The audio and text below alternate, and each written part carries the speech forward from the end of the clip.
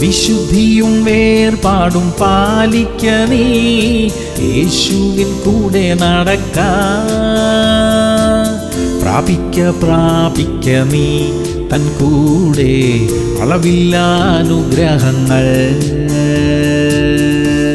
യാക്കോബ് അഞ്ച് ഇരുപത്. പാപിയെ നേർവഴിക്കാക്കുന്നവൻ അവന്റെ പ്രാണനെ മരണത്തിൽ നിന്ന് രക്ഷിക്കുകയും പാപങ്ങളുടെ ബഹുത്വം മറയ്ക്കുകയും ചെയ്യും. പ്രിയമുള്ളവരെ ഒരു വ്യക്തി പാപത്തിൽ ജീവിക്കുകയാണ് എന്ന് നമുക്കറിയാമെങ്കിൽ ആ ആൾക്കു വേണ്ടി പ്രാർത്ഥിക്കുകയും നേർവഴി ഉപദേശിക്കുകയും ചെയ്യേണ്ടത് നമ്മുടെ ഉത്തരവാദിത്തമാണ്. തിരുത്തുവാനുള്ള കാര്യങ്ങൾ ഏത് സമയത്ത് പറയണമെന്നും എങ്ങനെ പറയണമെന്നും ഉള്ള പരിജ്ഞാനം ദൈവം നമുക്ക് തരും. ശരിയായ കാര്യം തെറ്റായ സമയത്ത് അവതരിപ്പിക്കുന്നതിന് വിപരീത ഫലമാ ഉണ്ടാവുക. അതിനാൽ ആത്മരക്ഷയെക്കുറിച്ച് ഒരു വ്യക്തിയോട് പറയാനുള്ള വാക്കുകൾക്കും അവസരത്തിനും കൃപയ്ക്കുമായി നമുക്ക് പ്രാർത്ഥിക്കാം. സ്വർഗീയ പിതാവേ ഞങ്ങളുടെ കുടുംബങ്ങളിലും പരിചയത്തിലും പാപത്തിൽ ജീവിക്കുന്നവർ ആത്മരക്ഷ പ്രാപിക്കാനുള്ള സാഹചര്യം ഒരുക്കണമേ. അവരെ സ്നേഹിക്കാനും ഞങ്ങളുടെ നല്ല ജീവിതം കണ്ടറിഞ്ഞ് അങ്ങയുടെ സ്നേഹത്തെ അവർ തിരിച്ചറിയാനുമുള്ള സാഹചര്യം ഒരുക്കണമേ. യേശു ക്രിസ്തുവിന്റെ നാമത്തിൽ തന്നെ. അമേൻ അമേൻ അമേൻ